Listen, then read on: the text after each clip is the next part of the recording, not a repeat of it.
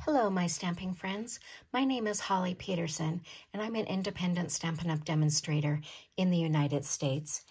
Today we're going to make this pretty card using the baby wipe technique for this border, and I'll show you how you can change the color of your ribbon as well.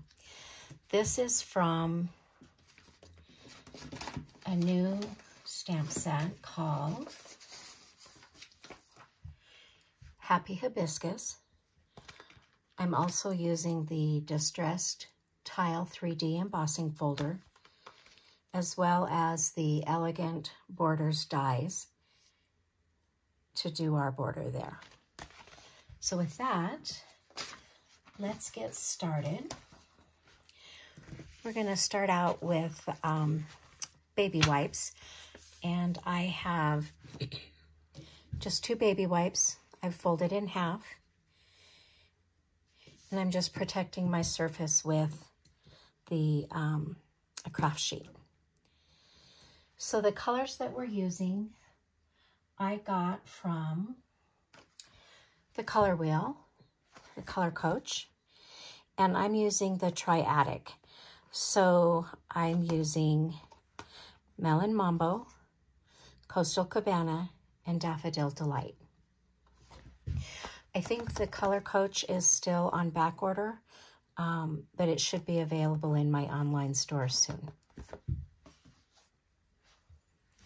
So I have my Melon Mambo, um, Daffodil Delight, and Coastal Cabana re-inkers.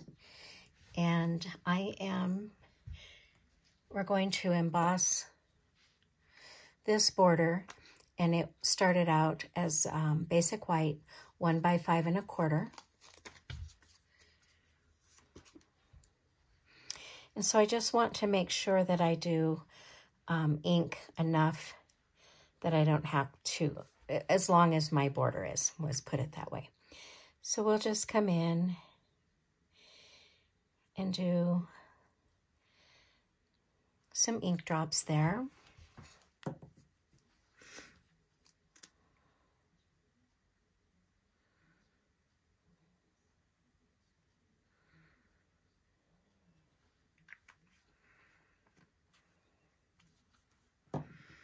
And then we'll come in with some yellow.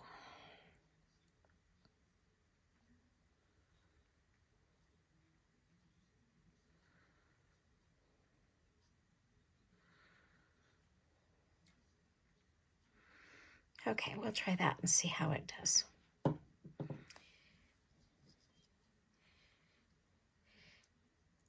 So I'm just going to lay this in here and kind of tap it down in the ink.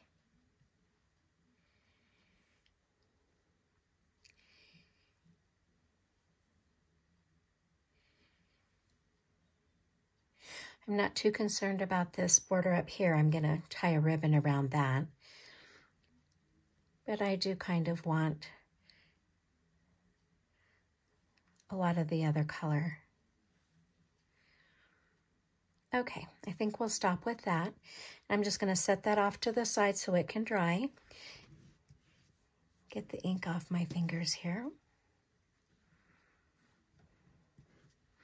I'm doing this technique in uh, a class um, this month for my stampers. So um, I told them I would provide them with some rubber gloves so they didn't get all inky. Okay.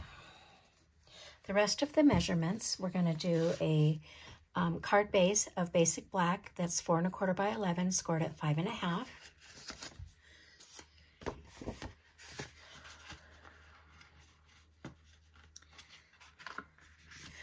I always like to use my bone folder in case my score line is off just a little bit.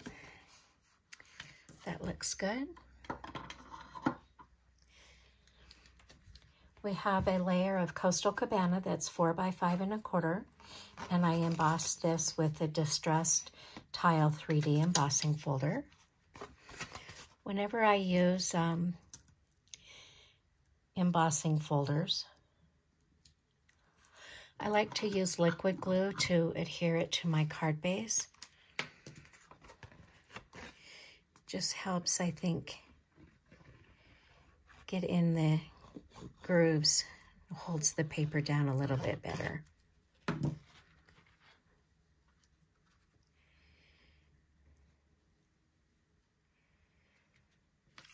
Like that.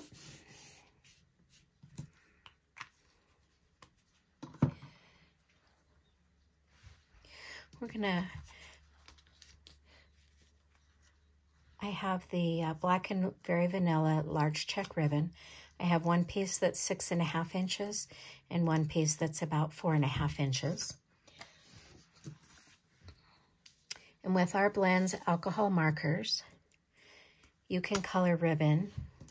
So I am using the um, dark melon mambo and I'm using the, the brush tip.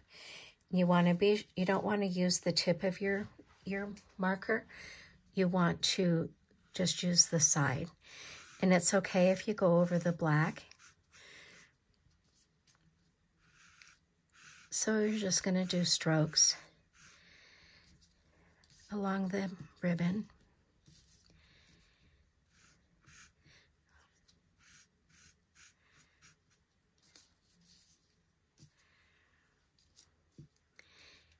And it does go through the other side. I am going to just run it on the back side as well. This piece, it wouldn't be as important to do that as with the little one, since this one's going to be flat on our card. So we'll set that aside. We'll do the same thing with our smaller one. Now this one, we're going to tie in a knot. so we want to make sure that both sides have good color on them.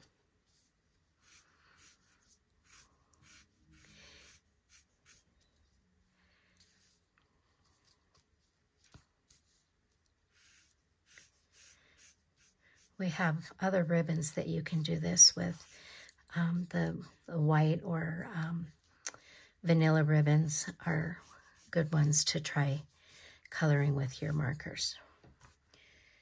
Okay, we'll set that aside. We're done with that. I went ahead and um, on a three by four, I went ahead and stamped these three flowers, the outline flowers, are all hooked together. And I stamped those with um, basic gray.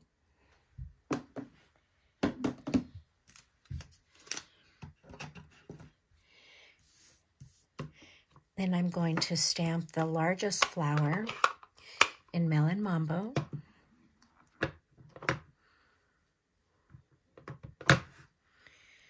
We'll just line that up.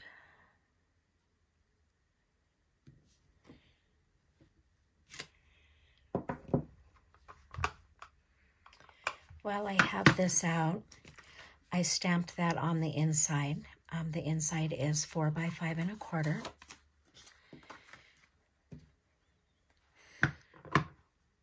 So we'll stamp this one as well.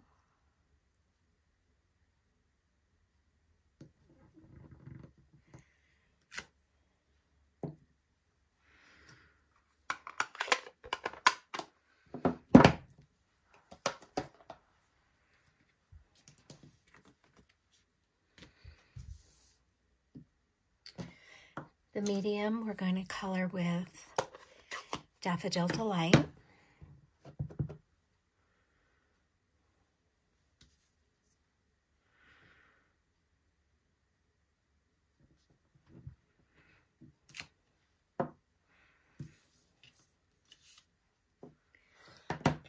and the little one we'll do in Coastal Cabana.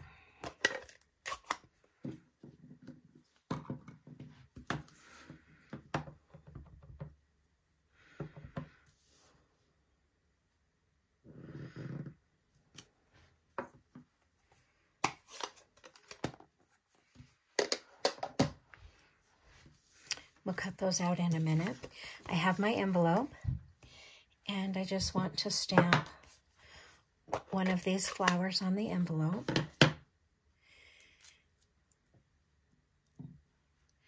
And I'm going to stamp the medium-sized one.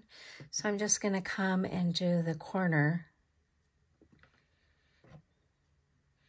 of the ink pad so that I'm only getting that one flower.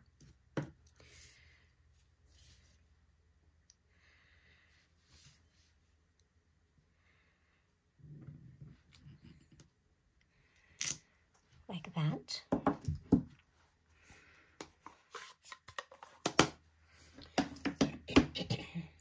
and that is the yellow flower. I like to line up this little pokey out section. Makes it easy to line up the rest of the flower.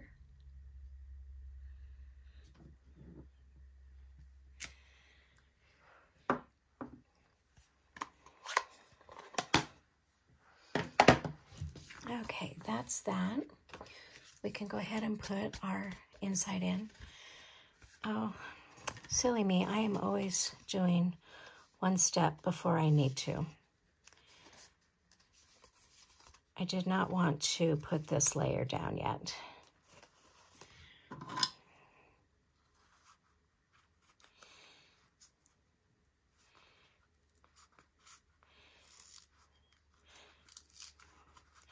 I'm just going to pull up this left side to wrap my ribbon around.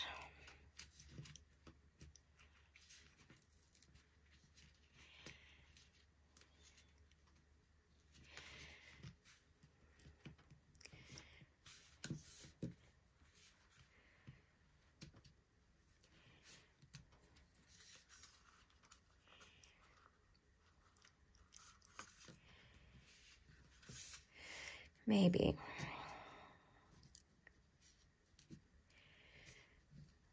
hopefully that's enough to get the ribbon underneath there.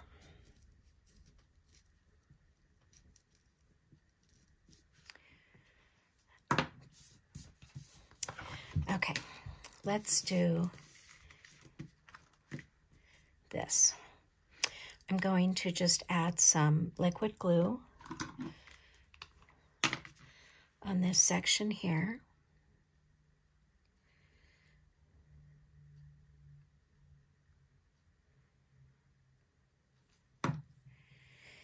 And then I'm going to lay it down about right there.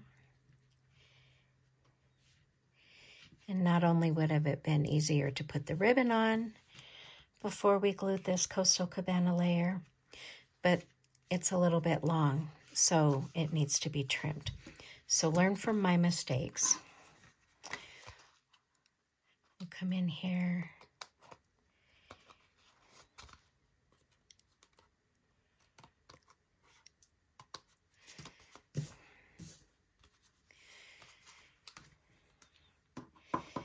And when I'm gluing ribbon, I like to take a glue dot on either end.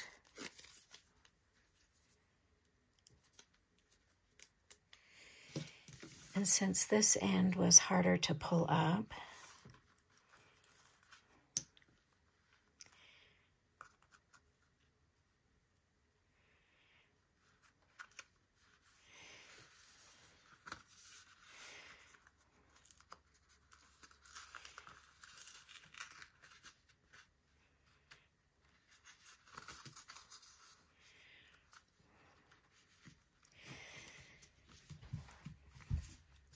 Okay, now to re-secure this, I'm going to take some glue dots and I'm going to, whoops,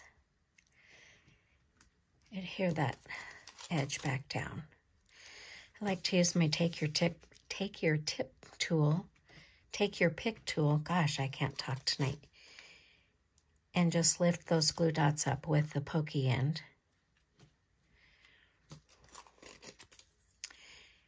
Use it as my third hand here, my third finger. Okay.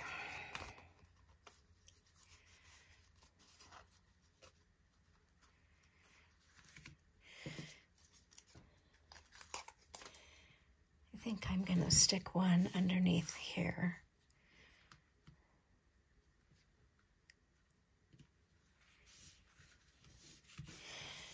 Okay. Got that fixed. So let's,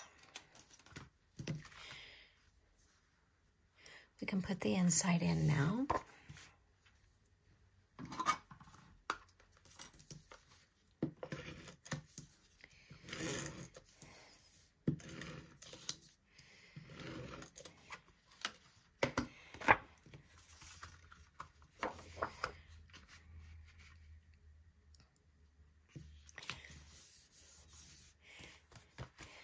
We'll set that aside. now bring in my mini cut and emboss.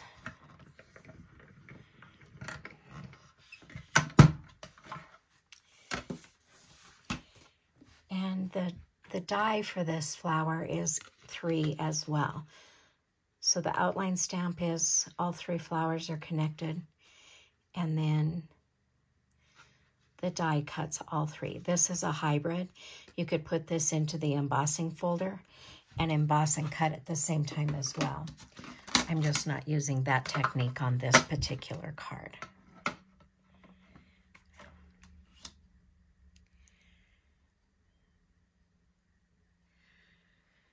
Okay, I think that looks good.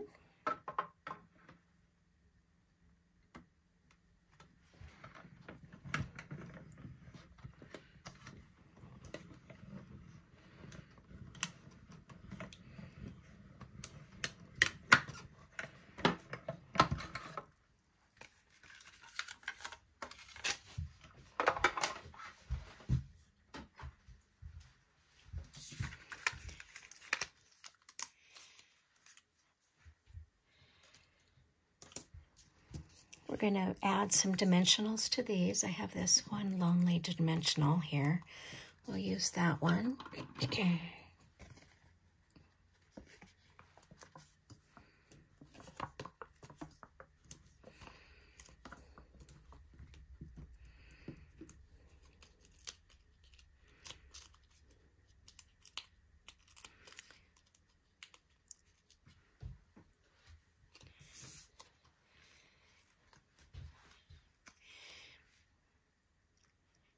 And we'll put that about right there.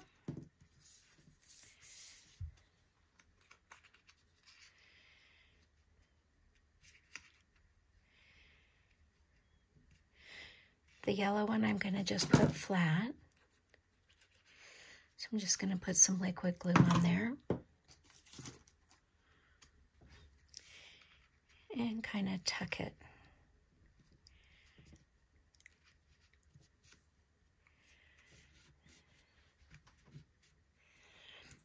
And then this little one, we will pop him up as well.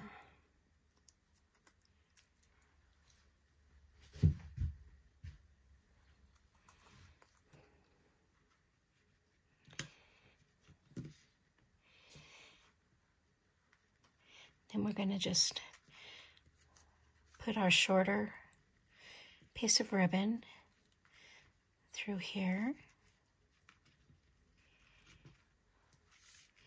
And tie a knot. Trim the edges.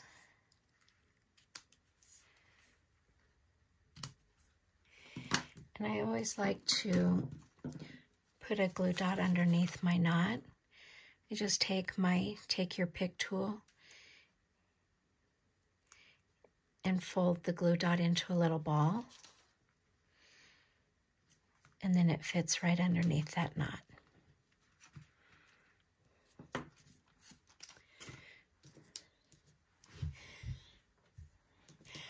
I opted for no grading. I'll let the gals at class um, pick whichever grading they want. But there we have a cute card using the baby wipe technique. I will have all the measurements below the video and also over on my blog at hollyscrafting.com. If you uh, have liked my video, I ask you to give me a thumbs up and subscribe to my channel. Thank you so much for stopping by. I appreciate it.